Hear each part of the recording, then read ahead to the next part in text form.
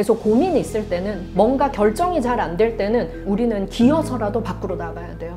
주변에 가족을 제외하고 가장 음. 밀접하게 있는 가장 친한 다섯 명의 음. 사람의 평균이 당신이라는 사람이다. 어, 네. 예, 라는 말이 있잖아요. 이 말에 대해서 음. 교수님께서도 공감을 아, 하시는지. 네, 맞습니다. 옛날 친구 10년, 20년, 30년 지나고 만나보면 진짜 다른 모습을 갖고 있어요. 완전히 다른 사람 돼 있는 경우가 많아요. 정말 너무나 품격 있게 나이 든 친구가 있는가 하면 와 옛날에 어, 안. 그랬는데 너무 천박하게 어, 변한 어. 보면 어떤 친구랑 어울리고 있는지를 보면 답이 딱 나와요. 네, 네. 외모도 말투도 음. 하는 생각도 다 비슷하거든요. 그래서 나의 가치를 높이려면 배울 게 많고 그게 꼭 뭐 경제적인 거 지위를 말하는 게 아니에요. 인품도 그리고 독서량도 사람을 대하는 예의도 내가 참 어우 닮고 싶어 배우고 싶어 이런 배울 게 많은 친구들 옆으로 계속 가서 그 친구들과 교류를 하면 내 평균 점수가 계속 높아지는 거죠. 그런데 맨날 만나던 사람 만나고 이 친구는 만나면 맨날 남 흉만 봐요. 근데 나한텐 잘해. 그래서 30년째 만나고 있대. 이런 분들 너무 많거든요.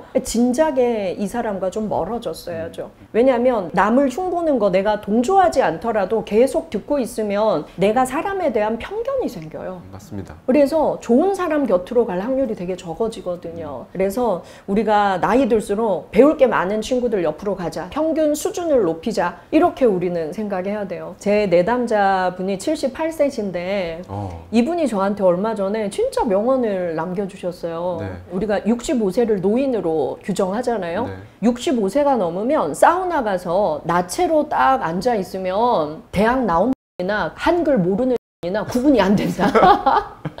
이런 얘기를 하셨어요.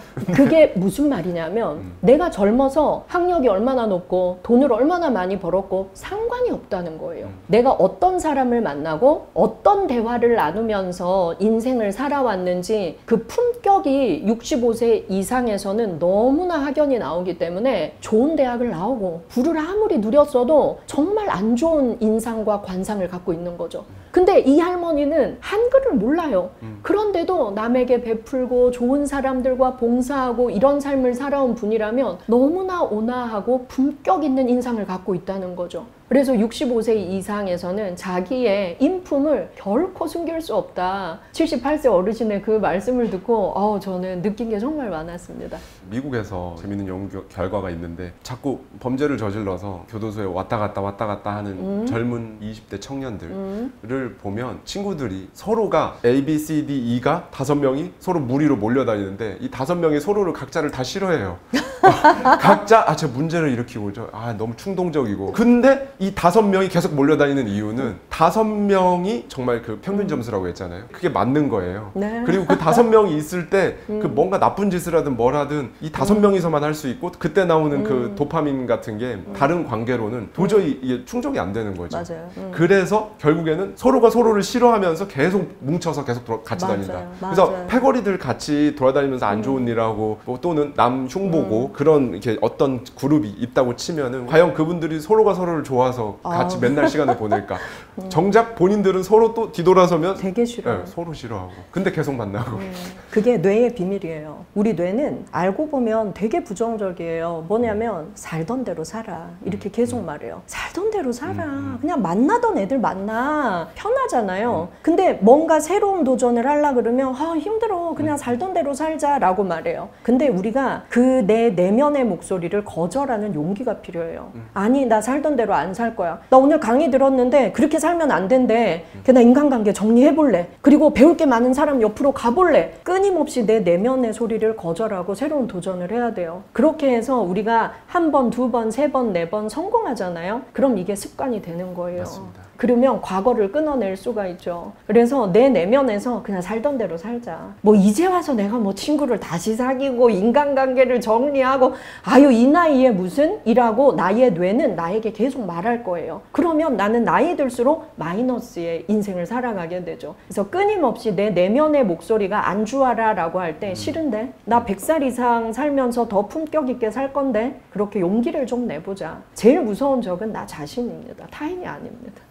교수님 말씀 들으니까 똑같아요. 개인적인 성장을 이루는 그 과정과 네. 그게 경제적인 부분이든 인격적인 부분이든 음. 어, 인간관계에서 또 훨씬 더 윤택하고 나은 인간관계를 음. 가기 위한 과정과 단계와 그게 똑같아요. 안전지대에서 이렇게 머물러 있다가 네. 예, 거기서 나와서 또 다른 새로운 안전지대를 만들어야 되잖아요. 아, 예. 예. 근데 그거를 이제 보통은 이제 음. 인간관계도 새로운 인간관계를 하려고 하면 음. 하지 말라고. 그거는 인간의 본능이니까 생존을 위해서는. 음. 근데 그거를 이제 넘어서야 되는데. 맞습니다. 예, 인간관계도 네. 똑같군요, 맞- 교수님 말씀. 이대로 예. 살고 싶은가? 예. 음. 더잘 살고 싶은가? 음. 나에게 물어보면 돼요. 음. 그리고 또 내가 10년 후, 20년 후에 어떻게 살고 있을지 자꾸 상상해 봐야 돼요. 음. 이대로 살면 10년 후, 20년 후에 어떤 삶을 살고 있을까? 거의 다가 비슷할 수밖에 없어요. 어, 네. 더 마이너스로 가거나. 음. 근데 더 잘 살고 싶다면 나의 환경을 바꿔야 돼요. 근데 그 환경을 바꾸는 데 있어서 제일 중요한 게 인간관계. 그 다음이 운동입니다. 우리가 운동하는 시간은 수명이 늘어나는 시간이거든요. 그래서 저희 심리학에서도 정말 강조하는 게 마음 건강과 몸 건강은 하나다. 그래서 정신 신체 의학이라고 해요. 정신과 신체는 하나다. 그래서 이 책에도 무조건 몸을 움직여야 된다가 되게 많이 나와 있어요. 내가 정말 무기력하고 그냥 이 삶에 안주하고 싶을 때는 우리는 기어서라도 밖으로 나가야 돼요. 밖으로 나가서 햇볕을 쬐고 그리고 정말 두 발로 땅을 딛고 걷거나 뛰어야 돼요. 왜냐하면 우리가 걷거나 뛰면요 혈액 순환이 정말 잘 되고 혈류가 뇌로 갑니다. 그리고 활성화돼요.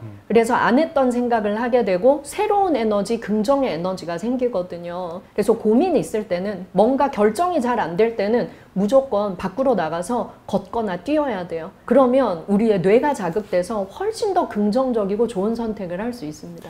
그 말 씀이 너무 인상 깊었던 게 운동이 정말 중요하기 때문에 음. 기어서라도 밖으로 나가서 운동을 네. 해야 된다. 네. 저 역시도 정말 많이 말씀드려왔던 게 마인드셋 할 때 결국 그런 긍정적인 에너지는 긍정적인 생각을 해야 되는데 음. 그게 사실 원래 잘 안 되거든요. 그거를 그렇다고 그게 굉장히 익숙해져서 음. 습관으로 자리 잡으면 조금 더 그걸 하기에 수월할 뿐이지 저절로 되는 사람은 저는 없다고 봐요. 음. 맞아. 저는 그래서 그냥 밥 먹듯이 매일매일 그거를 정말 이악 물고 긍정적으로 생각하려고 해야 된다라고 저는 아, 정말 맞는 말. 네. 뇌과학이 이렇게 말합니다. 네. 그래서 이건 트레이닝이 필요해요. 음. 그래서 혼자서 아무 공부도 안 하고 결심만 한다고 절대 되지 않아요. 네. 그래서 제일 가까운 건 정말 내가 본받고 싶은 긍정적인 사람, 그 사람하고 가까이 가고 대화를 자주 나누는 것이 좋고 아니면 좋은 강의 듣고 좋은 책 읽으면서 거기에서 전문가가 시키는 대로 트레이닝 하는 거예요. 맞습니다. 그래서 진짜 중요한 것은 우리가 몸이 건강해지면 몸을 움직이면 생각도 긍정적으로 간다. 이걸 믿고 운동하라. 그 다음 두 번째가 뭐냐면 생각도 감정도 우리는 선택하는 거예요. 아, 나 진짜 이 직장 다니니까 맨날 부정적인 생각을 할 수밖에 없어. 이건 핑계예요. 우리 뇌는 우리가 어떤 안 좋은 자극을 받았을 때 6초의 시간을 줘요. 그리고 6초 동안 질문해요. 지금 화를 자극받았어요. 내가 화를 낼 만해요? 근데 우리 뇌는 이 주인님한테 물어봅니다. 6초 동안. 주인님, 네. 화를 낼까요? 말까요? 낼까요? 말까요? 낼까요? 말까요? 물어봐요. 그럼 내가 나의 습관대로 하나를 때려잡는 거예요. 네. 화를 내자. 네. 아유, 나를 위해서 내지 말자. 어. 저 인간이 이상한 거지. 그리고 감정도 마찬가지예요. 감정도 나 너 때문에 지금 짜증났어. 너 조심해. 이건 진짜 어리석은 말이에요. 너 때문에 짜증난 게 아니라 우리 내가 뇌는 나에게 물었어요. 주인님, 짜증을 낼까요? 말까요? 낼까요? 말까요? 낼까요? 말까요? 물었어요.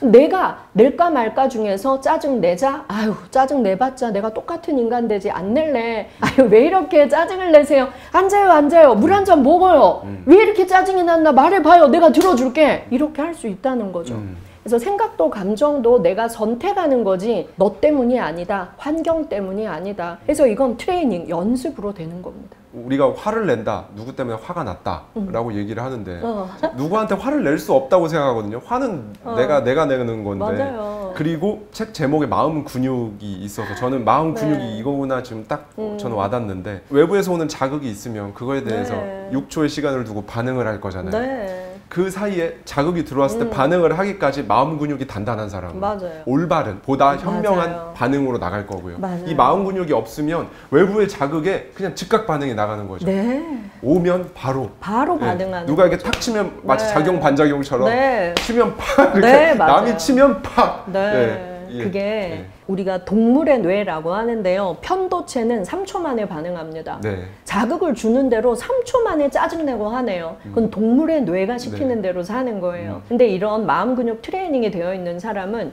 6초 동안 그 반응을 조절할 수 있고 선택을 할 수 있어요. 네. 저는 교도소에서 그 강력 범죄자들 심리 치료를 지금 13년째 하고 있어요. 어.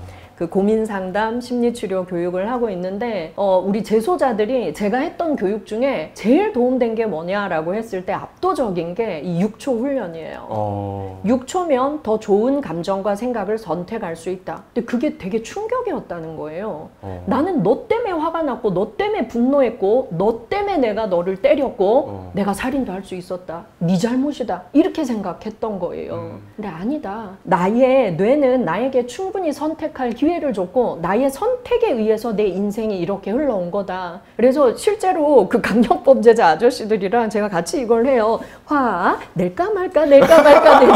예, 예, 6초 동안 이걸 서로 얼굴을 보면서 하게 해요. 짜증, 낼까 말까, 낼까 말까, 낼까 말까, 묻는 거예요. 오. 그러면 대부분 내지 말자를 선택해요. 그리고 막 웃어요. 그래서 6초면 된다. 선택할 수 있다. 몰랐던 거죠. 그래서 우린 배워야 돼요. 우리가 알아야 훈련할 수 있고 훈련을 하면 그것이 나의 습관이 될 수 있다는 거죠. 다른 사람이 될 수 있고 다른 인생을 살 수 있어요. 강력 범죄 재소자분들은 음. 심리 상담 이게 음. 해 보시면 조금 특이점이 있을까요? 네, 우리 오늘 대화에서 다 나왔어요. 엄청난 인생의 사건은요, 모르는 사람들 사이에서 일어나지 않아요.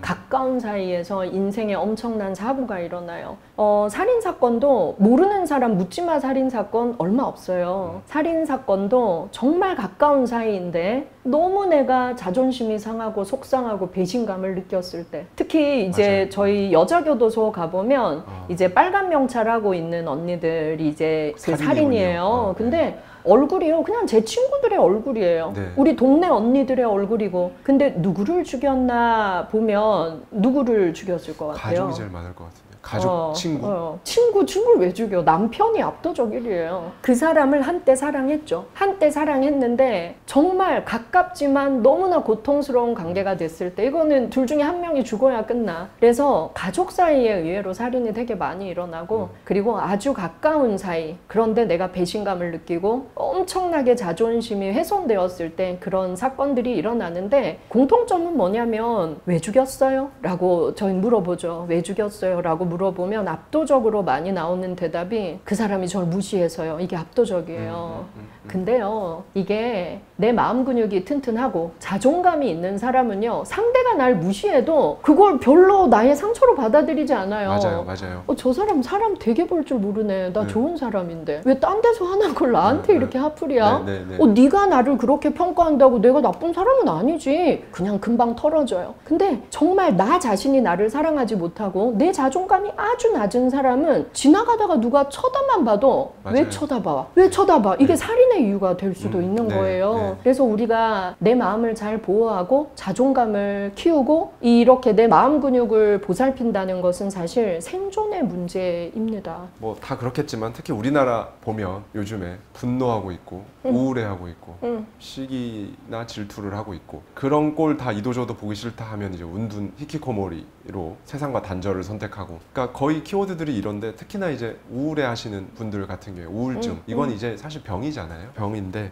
교수님이 말씀해 주시기를 어, 21일 동안 우울증을 치료하는 회복하는 그 과정이 음. 있다고 말씀을 해주셨어요 음, 네, 뇌과학에서 21일은 아주 네. 중요합니다. 우리의 뇌가 살던 대로 살아. 만나던 사람 만나. 에이, 뭘 새로운 걸 도전해. 이렇게 말한다 그랬잖아요. 네. 근데 우리 뇌에 지진이 일어날 때가 언젠가 하면 내가 다르게 살기로 결심하고 안 하던 행동, 안 하던 행동을 21일 동안 매일 하면 이 21일이 고비예요. 21일 동안 매일 하면 습관이 형성되는 네, 기간입니다. 그래서 우리가 아기가 태어나도 3, 7, 20일, 음. 21일이라는 시간이 되게 중요하거든요. 음. 그래서 3, 7일이 지나야 외부 사람들 보여주고 음. 이런 풍습이 있었어요. 21일은 생명의 시간이에요. 음. 그래서 내가 뭔가를 새롭게 해보고 싶다. 안 하던 운동을 먼저 하는 걸 전 가장 강력 추천합니다. 그리고 안 하던 것 중에서 내가 꼭 해보고 싶은 걸 행동으로 하는 거예요. 21일 동안 매일이 중요한데요. 중간에 하루 빠졌어요. 언제 제일 많이 그만할까요? 작심삼일. 어. 네, 3, 4일 때 다시 안 하는 거예요. 그럼 다시 원데이로 가야 돼요. 네, 네. 그때부터 다시 1일. 그래서 21일을 꾸준히 하면 우리 뇌가 항복하기 시작해요. 아유, 이 인간이 이제 이렇게 살기로 결정했대. 그리고 거기에 맞는 행동 명령을 내리기 시작하는 네. 거죠. 그래서 21일을 성공하고 나면 3개월 을 유지할 수 있는 힘이 생겨요. 그래서 3개월을 하잖아요. 그러면 안 하면 불편해져요. 그럼 1년을 유지할 수 있어요.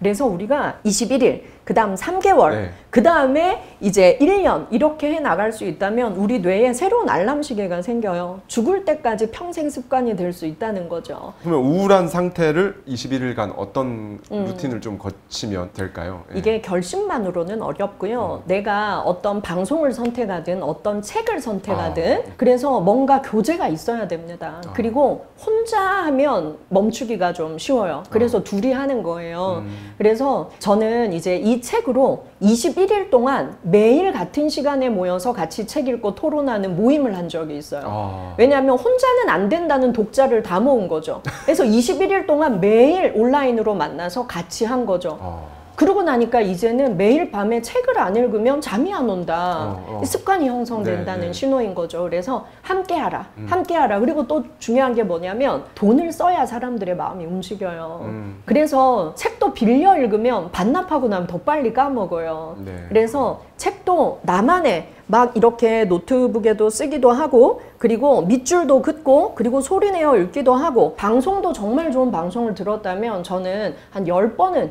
들어라. 21일 동안 매일 들어라. 어 그러면 정말 이게 외워지잖아요? 행동으로 나올 확률이 아주 높아지는 거죠. 함께 하라. 네 앞으로 10년 뒤에 교수님도 저도 또 완전히 또 다른 모습으로 성장해서 또 다른 내가 음. 되어 있을 건데 10년 뒤 어, 정말 또 다른 내가 되려면 어떻게 하면 좋다 마지막으로 음. 한번 한, 한 말씀 아, 부탁드리겠습니다. 네. 저는 그 생각만 하면 너무 설레요. 네. 그리고 제가 구체적으로 10년 뒤에 이렇게 되어 있으리라 저 이제는 그렇게 계획하지 않아요. 왜냐하면 10년 동안 나는 많은 전문가들의 강의를 듣고 또 새로운 길을 알게 될 거고 그리고 끊임없이 책을 읽을 거고 그리고 끊임없이 부러운 사람들 옆으로 갈 거예요. 그리고 그들의 노하우를 배울 거예요. 그러면 내가 상상하는 그 이상의 내가 충분히 되어 있을 수 있다. 그래서 매일 설레이는 마음으로 공부하고 배우고 좋은 사람들 옆으로 가는 거예요. 그러면 내가 꿈꾸는 그 이상이 충분히 되어 있을 거다. 제 인생의 제일 큰 꿈이 뭐냐면 명랑한 할머니 되는 거예요. 진짜 귀엽고 명랑한. 인생을 얼마나 긍정적이고 좋은 사람들과 어울리고 나를 사랑하면 노인이 되어서도 아주 명랑하고 귀여운 할머니가 될 수 있다. 어, 저는 그것만이 제 꿈이에요. 쇼펜하우어가 그랬잖아요. 아. 가장 중요한 건 명랑한 마음.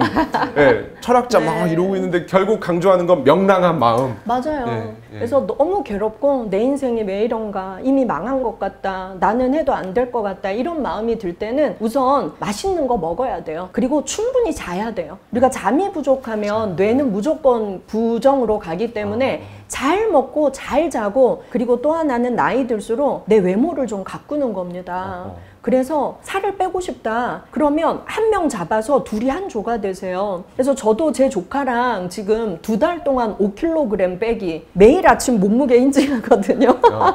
그러니까 이게 돈 내기로 했어요. 50만 원. 오. 돈을 걸어야 됩니다. 어. 그러니까 둘이 죽기 살기로 막 노력하게 돼요. 네. 오. 그렇게 하는 겁니다. 그래서 우리가 뭔가를 사소한 거라도 행동하기 시작하면 분명히 바뀔 수 있어요. 그리고 내가 좀 살을 빼는데 성공했다. 어, 그러면 뭐든지 할 수 있을 것 같은 또 생각이 들어요. 그래서 저는 진짜 괴로울 때는 잘 먹고 잘 자고 500원짜리 마스크 시트라도 사서 피부 마사지라도 한번 하고 그리고 방 청소하시라 그럽니다. 내가 내 공간이 깨끗하고 상쾌하고 내 공간에 있는 게 즐거워야 나를 사랑할 수 있어요. 그런데 내 방이 지저분하고 정리가 안 돼 있고 막 방에 서 냄새 나고 이러면 계속 방 탈출을 하고 싶어요. 어. 그리고 정말 나보다 질 낮은 인간들하고 계속 네. 만나게 돼요. 음, 그리고 집이 싫어지고 그래서 나를 가꾸라 그리고 집 청소하라 이런 것들 저는 많이 권해드립니다. 네.